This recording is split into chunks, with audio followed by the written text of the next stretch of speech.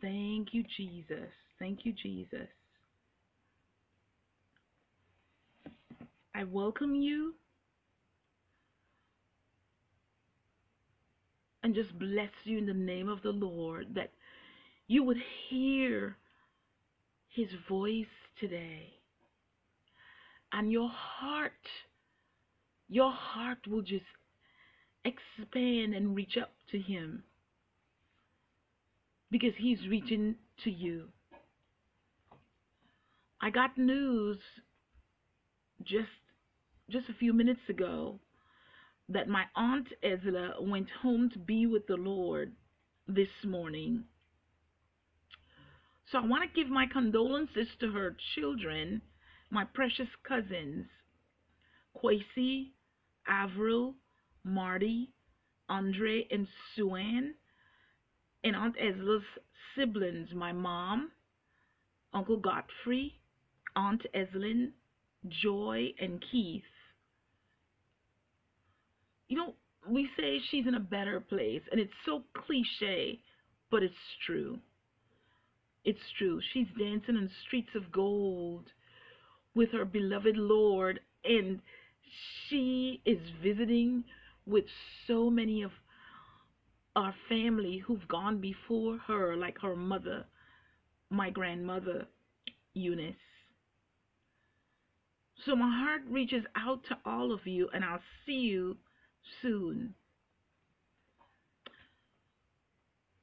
This ministry is a word ministry, and it's tasked with four clear teaching mandates to teach the people about tithe, to get out of debt and stay out, that there are more than conquerors through Christ, and to teach them the importance of the word, knowing it, living it. Today, I want to talk about an important topic. Not that it always isn't important. Everything in the world, every human being in the world belongs to Jehovah God, Almighty God. He created them. Psalm 24 1 tells us, The earth is the Lord's and the fullness thereof, the world and they that dwell therein. And in his love and his honor for his creation, he placed a priceless value on each of our lives, a priceless value of his own life. And on the other hand, we have a jealous, hateful, created being who was kicked out of heaven with not a sliver of hope, not a chance for redemption. And in his rage and jealousy, knowing that God loves us for things that he did and he was kicked out with no chance, we who God loves have a chance. Every human being in the world, before they close their eyes in death, has a chance for redemption, has a chance to be reunited back to God. An important status that Adam lost us. But he knows that he'll never be able to be reconciled back to God this Lucifer, Satan. So, in his rage, knowing his time is very short before he is cast into a lake of fire, he is doing everything and will continue to do whatever it takes to make sure that many of us who God loves not make it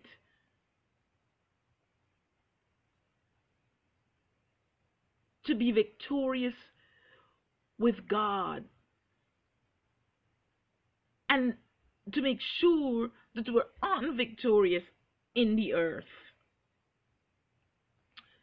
But, beloved, nothing that He does will succeed unless we give Him something to latch on to, to make His case for our destruction. And what methods does He use? The enemy uses fear, intimidation, deceit, lies. And what is his goal? To kill, to steal, to destroy. But God's goal is not only eternity with Him, but right here on this earth, in this now time, to live a life that is more abundant. Like a loving father, which is a very rare, almost extinct species today. Like a loving father, God will do everything that He can to woo us, to, to draw us to Him. But because we are made in His image, He cannot force our will. Being made in His image means we have choice. So we have to choose God. And that's why it's compared to a bride, the church, and the bridegroom, God. You see, when that bride gets before the one who's officiating the wedding, the bride has to say, I do. The bride of her own choice has to say, I do. I agree to marry this person, this groom. And it's the same with us. I want to ask you this question. If you truly love a person, if you claim to love a person, wouldn't you want what's best for them? And could you then afford to have them ignore the warnings of the approaching destruction? Wouldn't you want them to be safe and secure? God loves us. He loves you. He proved it by his death on the cross. And if he's the God of the universe, do you think it's wise to ignore what he says his final plans are? I want to encourage you who are listening, who haven't turned your lives over to the Lord as yet. You haven't settled the question of where you spend eternity with. I want you to spend a few days out of whatever activities keep you busy not thinking. Just spend a few days without those things around you and in you and listen to the voice that we call our conscience. It will speak truth to you.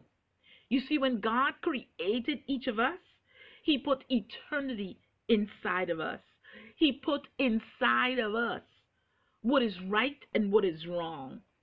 Each of us, because we're created in God's image, we have eternity in us.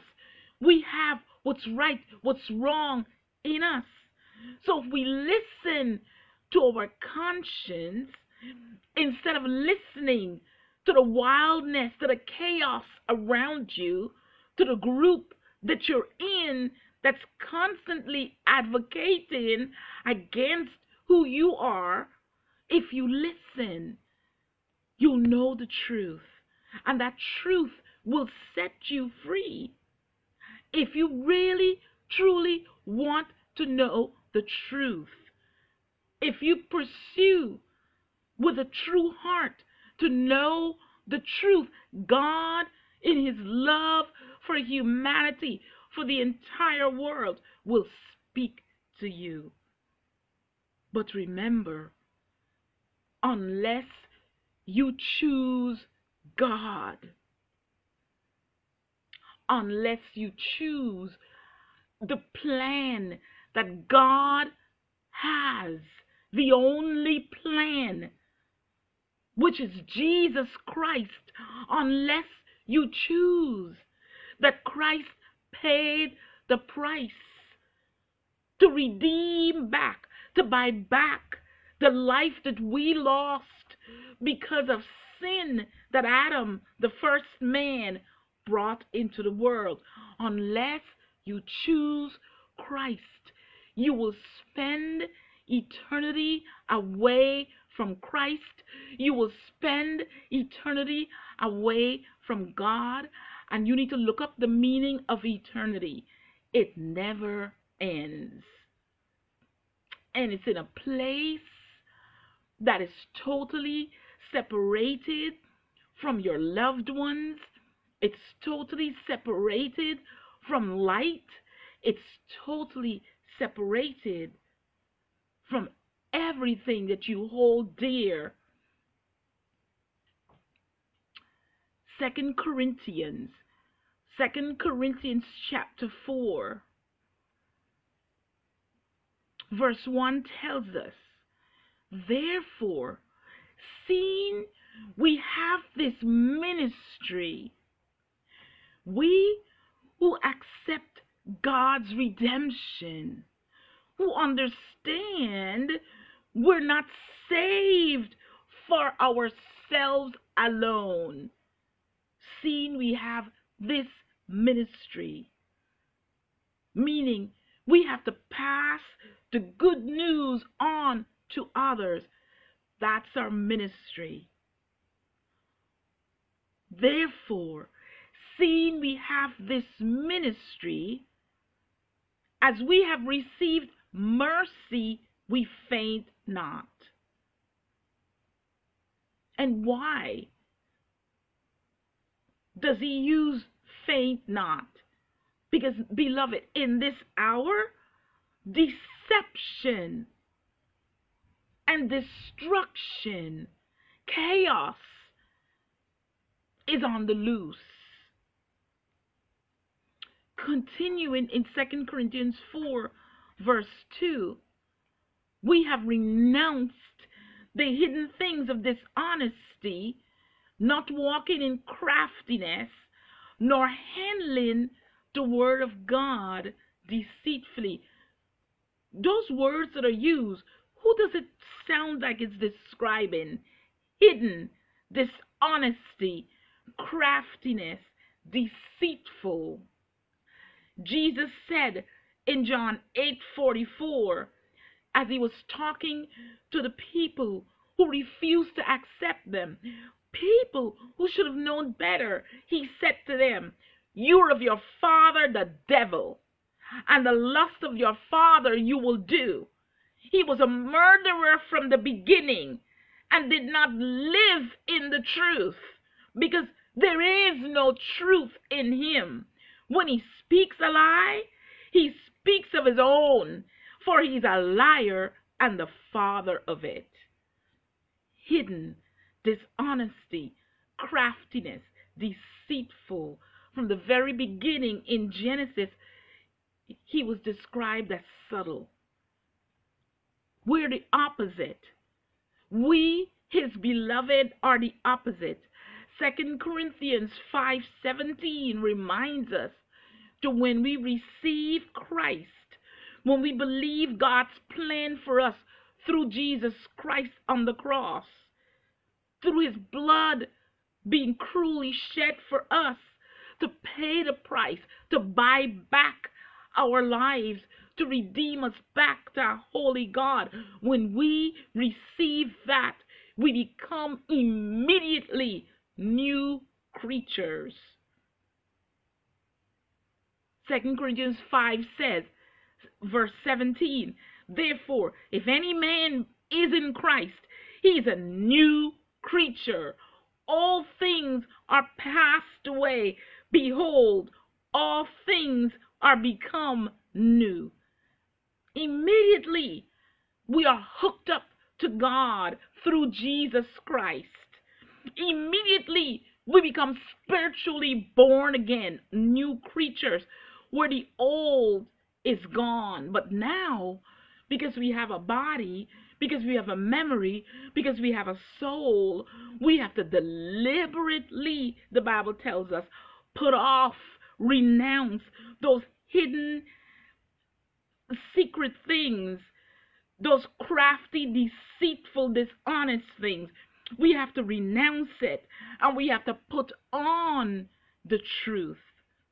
Ephesians 4 22 tells us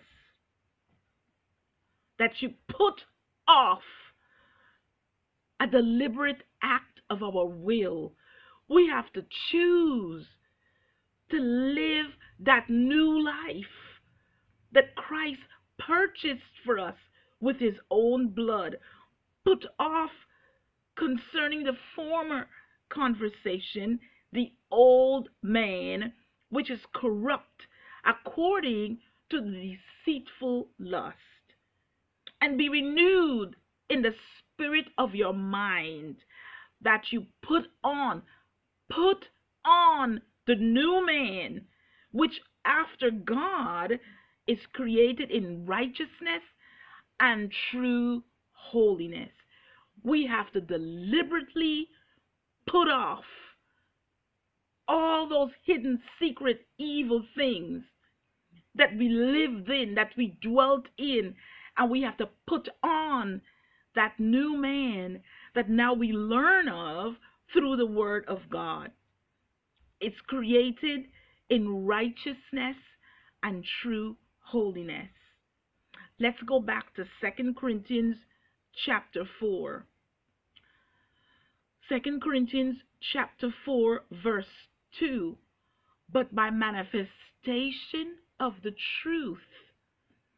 Put on truth commending yourselves to every man's conscience in the sight of God. Listen to the language. Verse 3 of 2 Corinthians 4 if our gospel be hid it is hid to those who are lost. If our gospel is hid, it is hid to those who are lost. Hid, it says renounce the hidden things. See, Jesus is the light. Jesus is light. So we who receive him are children of the light. We're the light of the world. And light, you don't hide it the Bible tells us, but you put it up where it shines and dispels the darkness. That's who we are in this hour. We cannot hide who we are in this hour. Everybody's coming out the closet. So we may as well come out too as Christians. As Christians, we need to come out of the closet and we need to live as the light we are and a salt of the earth that we are.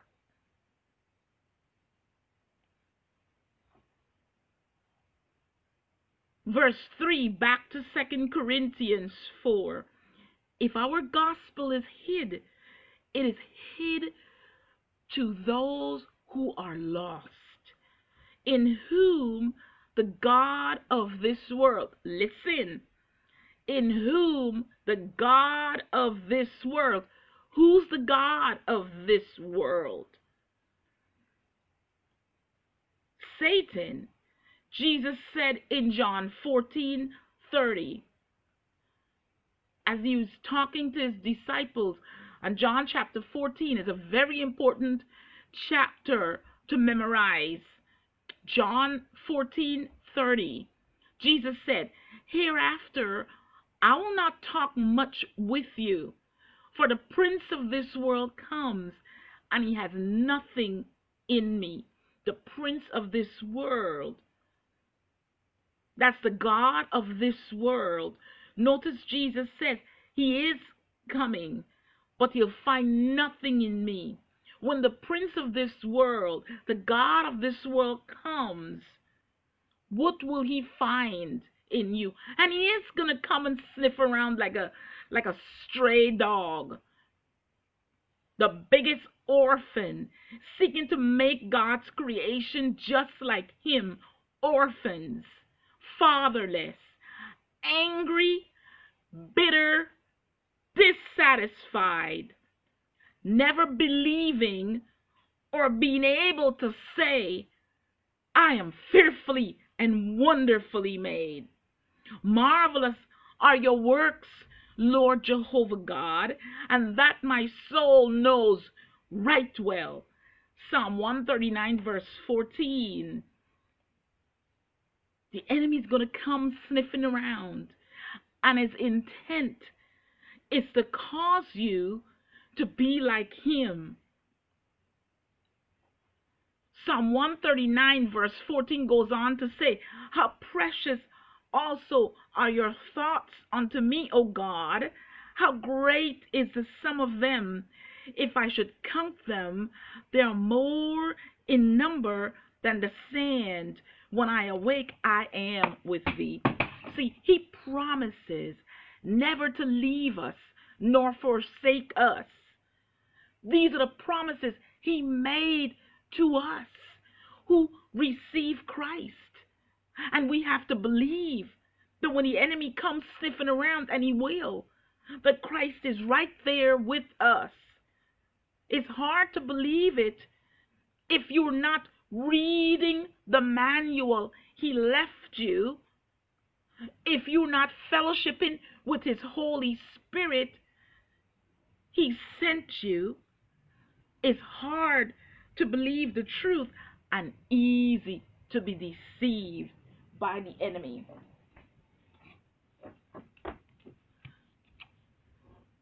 We need to believe that God's thoughts to us are more than sand. Go to the beach.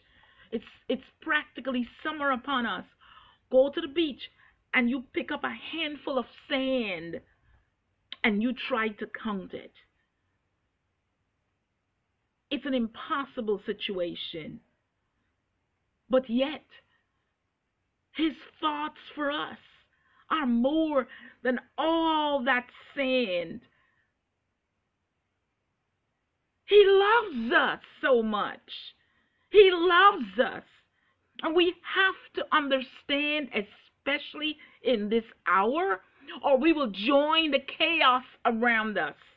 And we will join the groups agitating around us who are bitter and angry and dissatisfied, hating self, hating even their gender.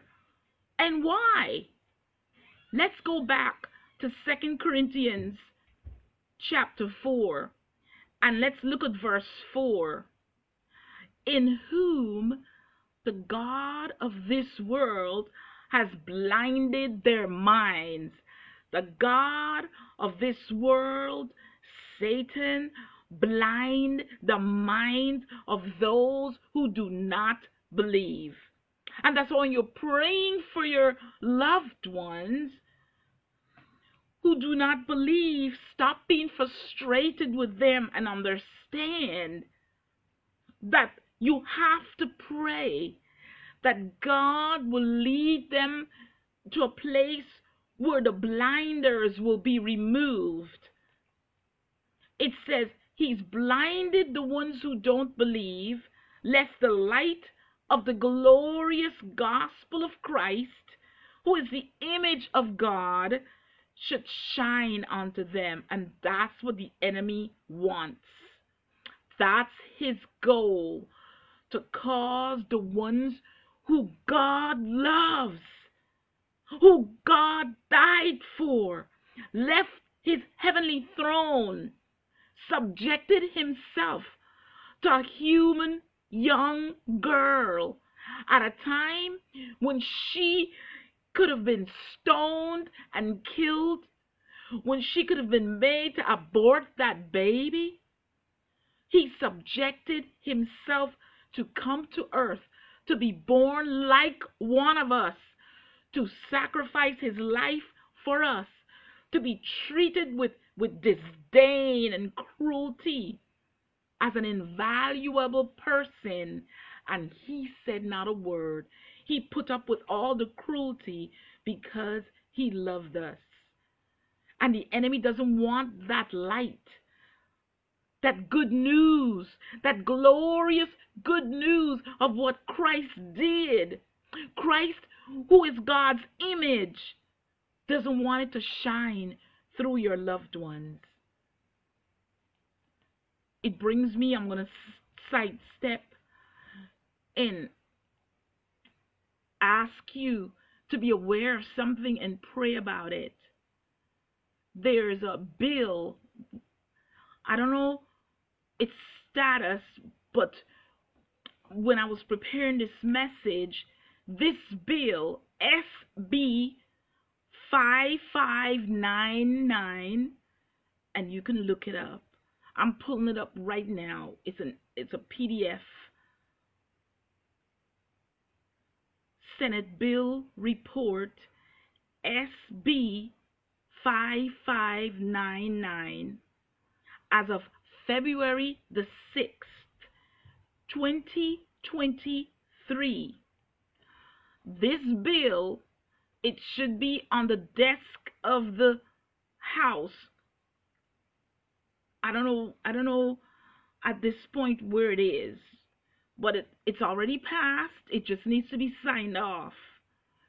An act relating to supporting youth and young adults seeking protected health care services. Hey, that's good, right? That sounds good, right? A brief description. Supporting youth and young adults seeking protected health care services. And if you go down and read the summary of the bill, mm, still sounds good, but you have to delve further in it. And as you go further and further down into this bill,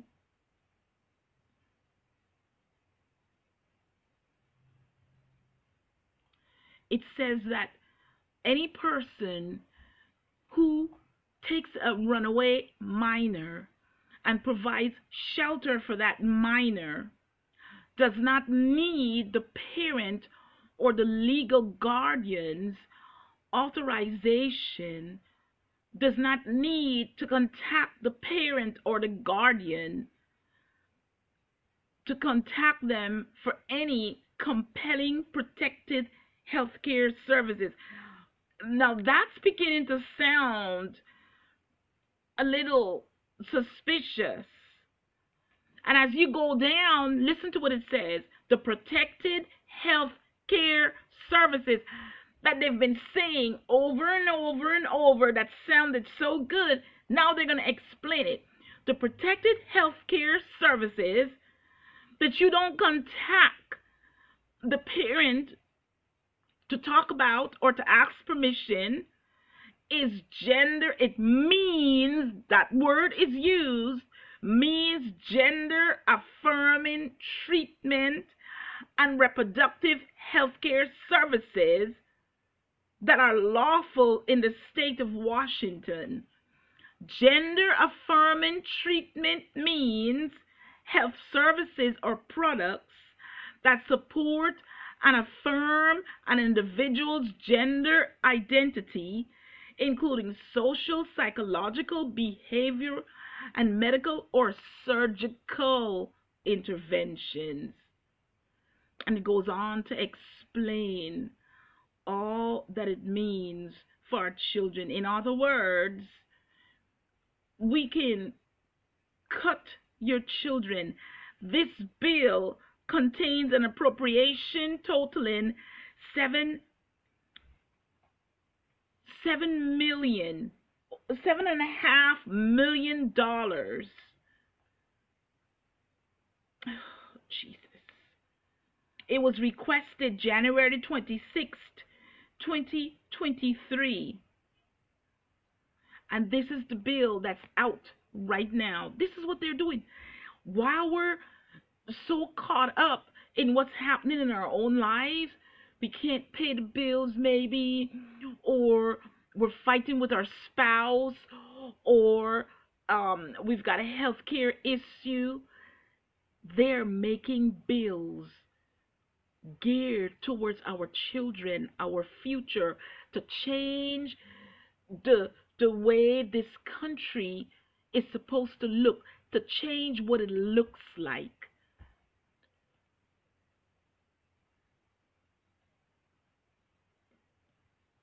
The God of this world has blinded the minds so the light of the glorious gospel that you are made in his image, that you're fearfully and wonderfully made, that God did not make a mistake when he made you a man.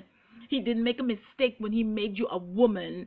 He didn't make a mistake when he made you black. He didn't make a mistake when he made you white. He didn't make a mistake when he made you Hispanic or Chinese. He didn't make a mistake. Second Corinthians, back to Second Corinthians chapter 4, verse 5. For we don't preach ourselves. I'm not preaching me. I'm preaching the word of God. We preach Christ Jesus the Lord. And ourselves, servants of Jesus. For God who commanded the light to shine out of darkness, has shined in our hearts to give the light of the knowledge of the glory of God in the face of Jesus Christ. That's the gospel. That's the truth. That's what will set a person free to understand they are fearfully and wonderfully made and made with a good purpose, with a call on their life and gifts to serve God, to cause others to come into the glorious light. Because this world is winding down and will disappear soon. And we have to be ready for the next world. It's going to happen whether we believe it or not. And we need to receive it, understand it, and even before I understood what salvation meant, I received it and I passed it on to my child. We have this treasure, Second Corinthians chapter 4 verse 7. We have this treasure in our earthen vessels. We have this treasure, Christ in us, our hope of glory, that the excellency of the power may be of God and not of us. Listen, what am I talking about today? I'm talking about the need for us to understand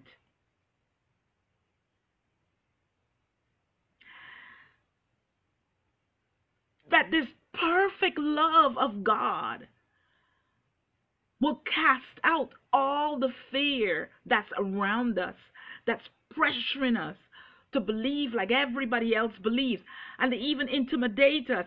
If you don't believe like we do, then you're going to lose your job. If you don't believe like we do, you're not going to get to to buy from us or or serve with us.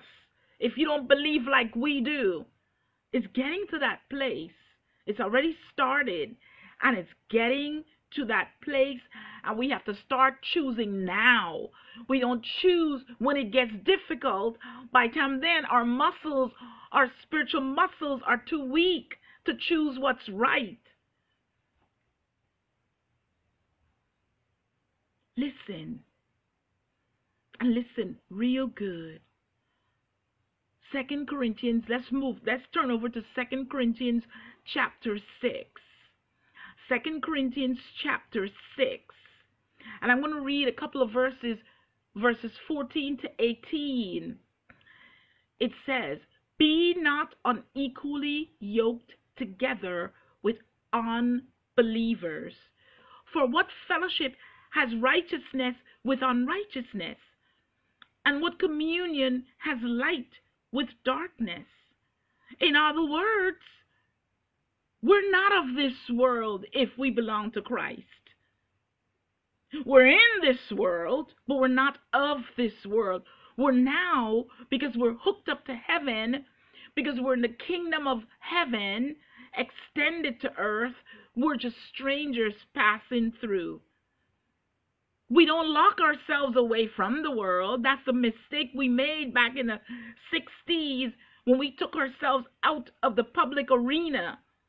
We don't. We get, we extend the kingdom of God every arena, every mountain of society, the mountain of family, the mountain of education, the mountain of politics, the mountain of sports, the mountain of entertainment, the mountain, every mountain we get involved in. We don't shut ourselves from it, but we don't take in the things of the world.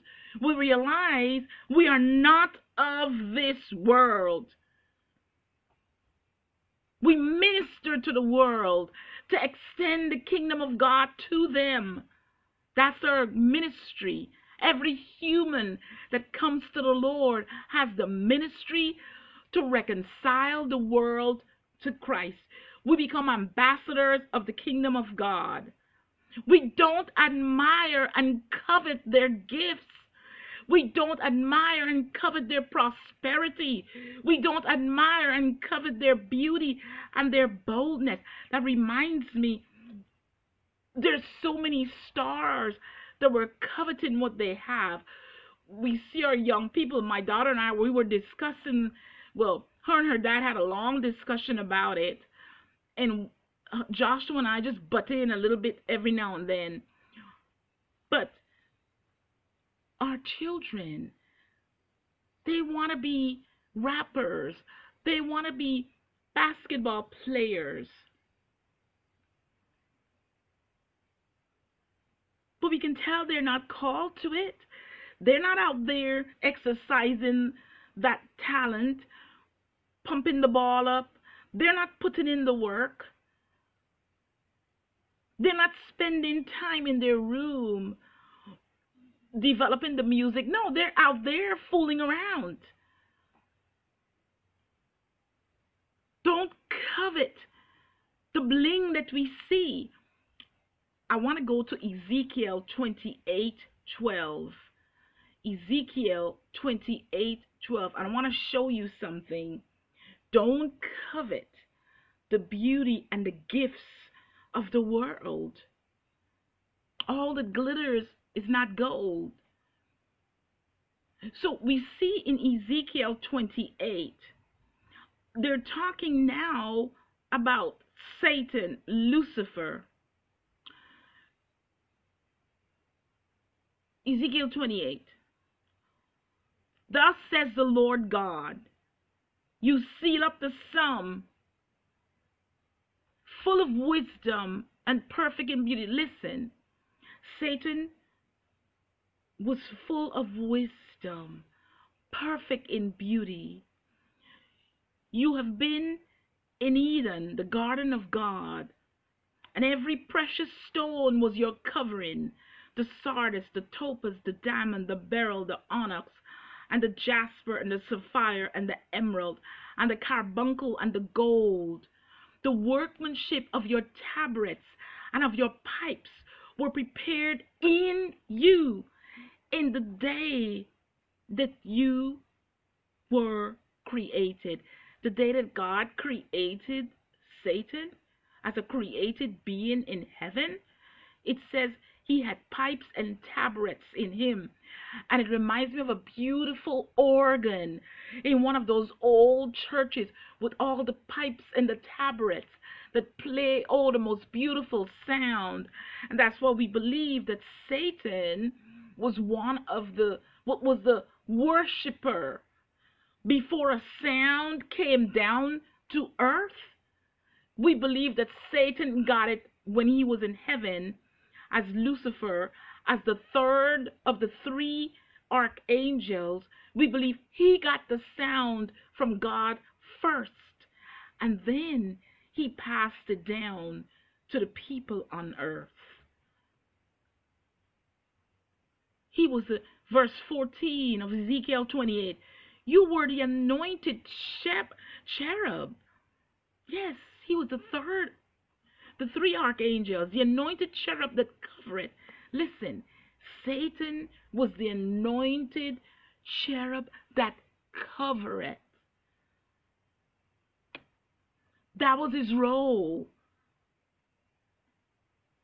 And I have set thee so. God did it.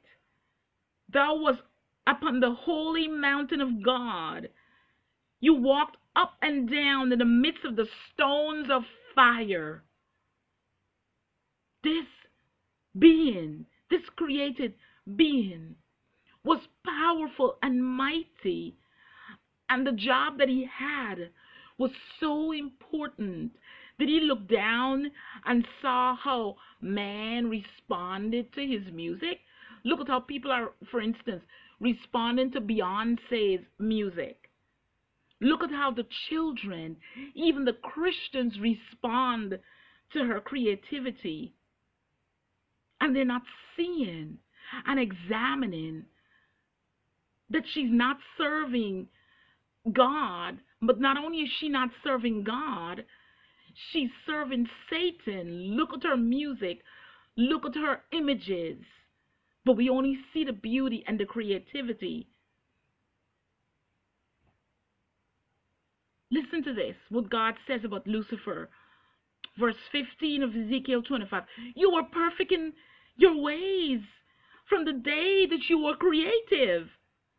I'm sorry, created. You were perfect in your ways from the day that you were created until iniquity was found in you. What was the iniquity that was found in him?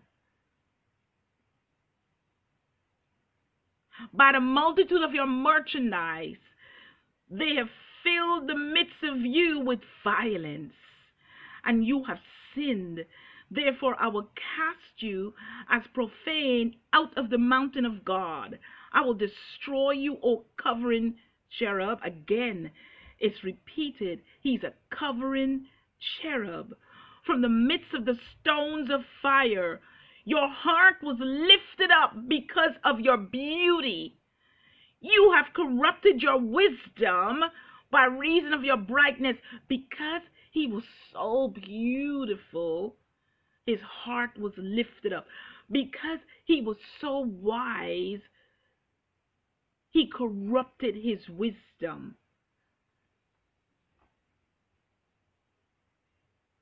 I want to now go to Isaiah 14. Isaiah 14, verse 9. And I want to quickly come to the end. Isaiah 14, 9. Hell from beneath is moved to meet you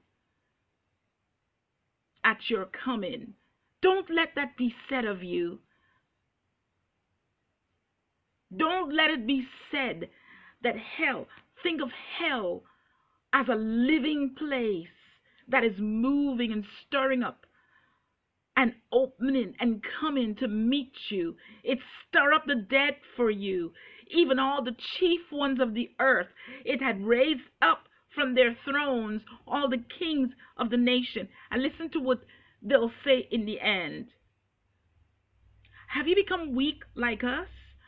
Are you become like unto us? Listen to this. What is said of Lucifer? Your pomp is brought down to the grave, and the noise of your vials. The worm is spread under thee, and the worms cover thee. How art you fallen from heaven, O Lucifer, son of the morning? How are you cut down to the ground, which did weaken the nations? For you have said in your heart, listen to the problem that Lucifer had, and it's a spirit that he's passing on to too many. For thou hast said in your heart, I will ascend into heaven. I will exalt my throne above the stars of God. I will sit also upon the mount of the congregation in the sides of the north. I will ascend above the heights of the cloud. I will be like the Most High. I, I, I, I. And that's his that's his MO. That's what he's wanted all along to be like the most high. And notice what God said. He kicked him right out. Kicked him right out. Let's go back to Second Corinthians 6. 2 Corinthians 6, verse 15. What concord had Christ with Belial? What concord? What agreement? What covenant? What participation does Christ have with Lucifer's works? He's kicked out. There is no hope for him. He's a fallen being. He's going to stay fallen. And we have to choose Christ or Belial, Christ or Lucifer, Christ or our flesh. What part has he who believes with an infidel? What agreement has the temple of God with idols? For you are the temple of the living God. What agreement has this temple, this temple of God, with idols?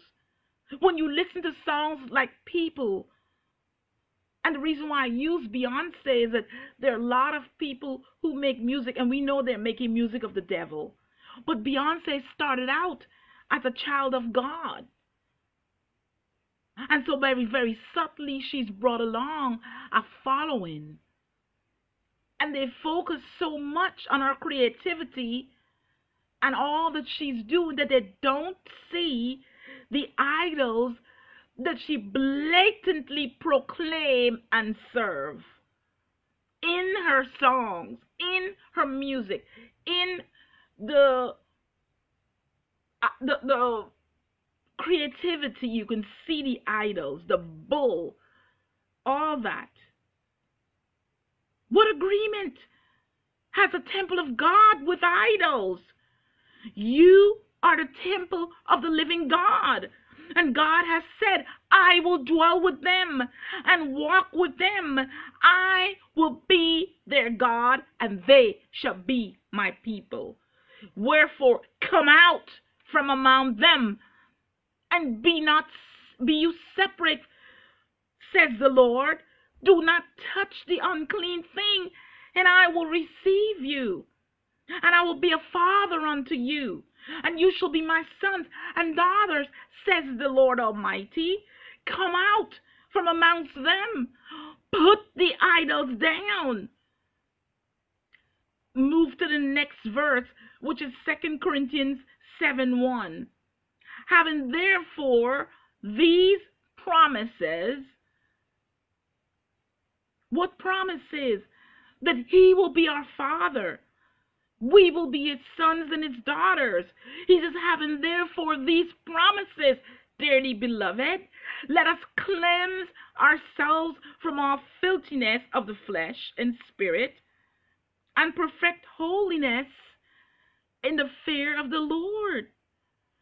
Come out from amongst them. Why? Because he doesn't want you to be like them. 1 Corinthians 15:33 has a verse that says, "Be not deceived. Bad company ruins good morals." He doesn't want you to be destroyed like them. Think of Lot and think of Noah. How God warned and warned. And Noah and his family, just eight people, got into the ark and everybody else was destroyed. Or how about Lot? The angel pulled Lot and his two girls and his wife out of the area and everything went up in smokes. Five cities were burned. And of course, Lot's wife looked back. Stop looking back. Believe me, it's rotten fruit.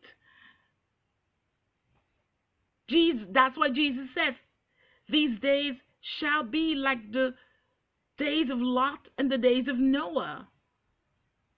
We are laborers together with God. We are ambassadors to tell others about Him. In the meantime, we are His holy temple, we're His husbandry. As we come down to the end of the message, let's go to 1 John chapter 4, verse 18. 1 John 4 18. It says, There is no fear in love, but perfect love casts out fear, because fear has torment. He that fears is not made perfect in love. And we're walking around with too many fears. Fears that we don't have enough to pay our bills.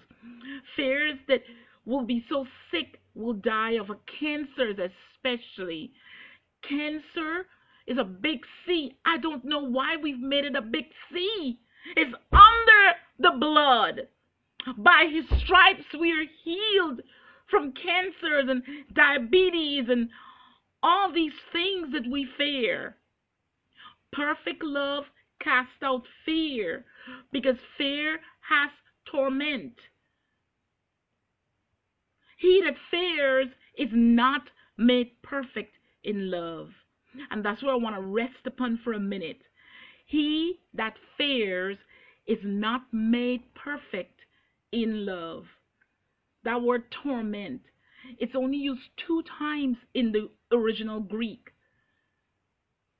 Kolasis, it means correction or punishment and pen- penalty, even in the thought. And it's used again, it's used here in 1 John 4 18, where it says, Fear has torment. It's also used in Matthew 25 46 when Jesus is talking about the end times. And he says, These shall go into everlasting punishment. That's torment. That's the second time and only time that word is used. But God did not give us the spirit of fear. Fear is a spirit that comes from the enemy and it's a very powerful weapon of the enemy. But perfect love is stronger and far more powerful than fear. God didn't give us the spirit of fear, 2 Timothy 1 7 tells us, but He gave us power and love and a sound mind. In the end, if we look back at Isaiah 14 16, at the end, everyone will look at the devil and they'll say, That's the thing we feared? That? That's the man that made the earth to tremble? We're fearing something that is an illusion, like children afraid of what's under their bed or in their closet at night. Faith as small as a mustard seed, Jesus says, is all that we need. He said, if you have faith, Matthew 17 20, as small as a mustard seed, you shall say to the mountain, Remove, and nothing shall be impossible to you.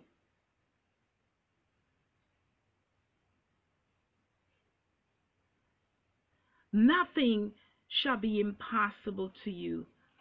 So, as I end this message, what is God saying to us today? There is so much going on around us. So much. Be careful that you don't get caught up in the wrong group, doing the wrong thing, wasting your energy, wasting your time on what you are not called for. Everything that looks good may be good, but it's not a God thing. Is it a God thing for you? Did God say do that? We've got to get to the place where we understand God is love. 1 John 4 8 and 16 tells us God is love and He's always with us. And because He's always with us, love is always with us. As we become perfected in that love, understand it, and we can't if we're not studying what it means with the help of the Holy Spirit, who is God Himself in spirit form. That's how much He loves us. He didn't leave us alone, He's with us. He died for us, and then He comes and He's with us. And He gave us a manual that He will interpret for us. Don't allow fear of not having enough, fear of not being good enough, fear of not being pretty enough, fear of not being talented enough. Don't allow these fears, fears of not having enough. You have more than enough. You are more than enough. You are fearfully and wonderfully made.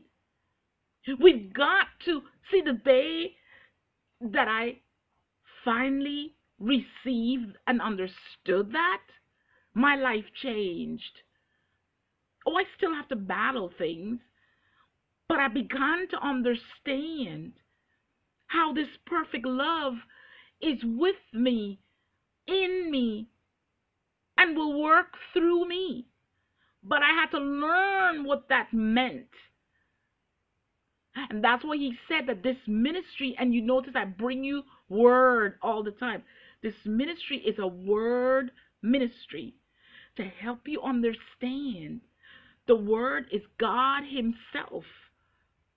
So I want to encourage you and challenge you today.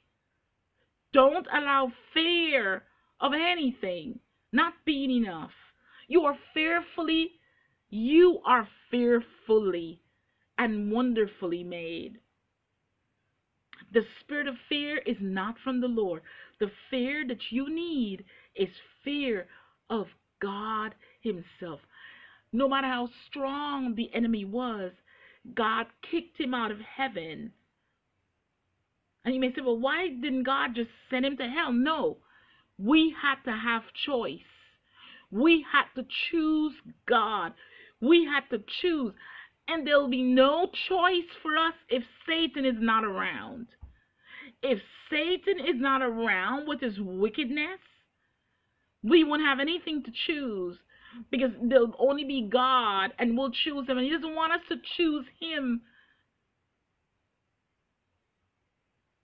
without us exercising rather he doesn't want us to come with him without us choosing him and we cannot choose god if the opposite is not around if satan is not around but he's not going to be around for much longer and like my aunt went home to be with the Lord today. Some of us are not going to be here when He comes. We'll go to Him. We still have to stand before Him. And if we don't go to Him with Him in us, if that same Spirit, Romans chapter 8 tells us, that raised Christ from the dead does not dwell in us, then we can't be with Christ, we're not going to even be with the devil. Because when he's tied up in a lake of fire, we're all in separate, well, not not not we because I'm not going there. All those who go to hell, they choose hell themselves. God is telling you today, He loves you. And if you love that person that you're with that you're not supposed to be with, if you say you love them, then you need to let them make that choice of choosing God. You can't afford for Christ to come or that person die and go to Christ and they don't have him in their heart because they'll go to hell separate from everybody for eternity. Choose Christ. Choose perfect love. Let that perfect love prepare you for eternity. Let that perfect love guide you right now as you live this life on earth. Let me pray for you before we end. Father, I decree and declare light of the world upon the hearer right now. May they hear, may they receive, may the eyes of their understanding be enlightened, that they will understand the depth and the height and everything about their inheritance in you. May heaven expand. May the kingdom of heaven expand in their hearts, in their lives, and the gates of hell shut. Today, I decree a shutting of the gates of hell and an opening of the kingdom of heaven to receive your children. You deserve their glory. You give everything for them, God. Satan didn't give a tear, he didn't give a hair of his head, but you give everything for them. You deserve their glory. And may they see it, understand it, and receive it before it's too late. I thank you for God. Our country needs you.